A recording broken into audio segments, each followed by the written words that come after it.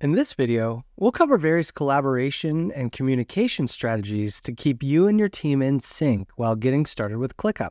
As always, we encourage you to follow along in your own workspace so you can get more familiar with how to communicate with your team in ClickUp. ClickUp enhances communication with your team by letting you reply to updates directly within the context of your tasks with comments. In your task, go to the Activity tab and at the bottom is the comment box. This is where you can chat with your team in context by keeping all project related communications in one place. If you've used other tools to communicate with your teammates, you know how difficult it can be to keep track of everything. If you want to look up old messages in another platform, it'll be impossible to find. ClickUp makes it easy to communicate directly right where you're working.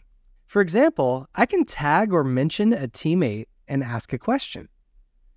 When I do that, it automatically adds them as a follower to the task and they'll receive a notification within their inbox. Another option is to assign a comment. Assigned comments are a way to assign responsibility and indicate that you need a response or need somebody to do something for you. So here you can see that I've assigned a comment to my teammate. She's going to have to come in and resolve my comment to let me know that she's done what I've requested. As a best practice, when you need someone to take action or provide an update, always assign them a comment. So, where can I see what comments are assigned to me? There are really two places to go. The first place is within the task within the assigned comments section. From here, you can see what comments are assigned and unresolved, and you can click on them to address them.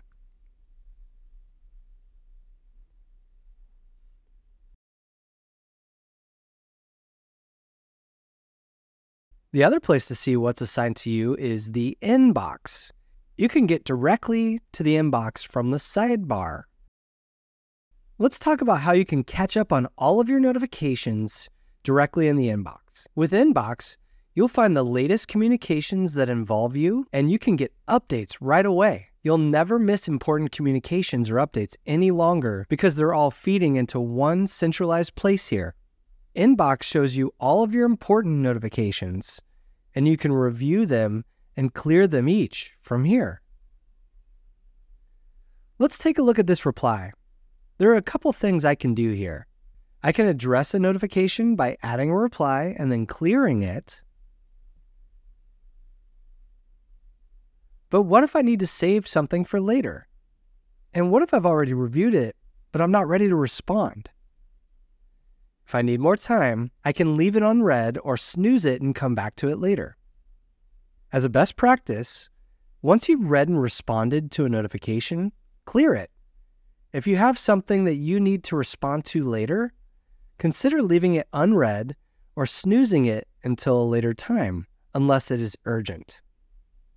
Not sure where to start? Try starting out by seeing all important communications where you've been mentioned or assigned to a comment. If you scroll to the right, you can even customize what is most important for you and choose what you'll get notified about in your workspace. As a best practice here, keep it simple to reduce the amount of notifications that you receive. So let's say my teammate assigned a comment to me. I can look for it directly here, or I can even filter my inbox at the top right by comments that are assigned to me. All I need to do is click into it and I can see all of the context that I need. The task comment thread appears for me here, and I can click right into a task and view it and respond to it right here in the inbox. With Inbox, you can respond confidently knowing that all of your context is there for all of your work. In this video, we covered how to communicate with your team in context with your work. And we introduce you to the inbox, where you can address all of your notifications in one central place. Now it's your turn. Go ahead and try it out for yourself. Go to a task and assign a comment to someone. Then go to your inbox and work through your notifications.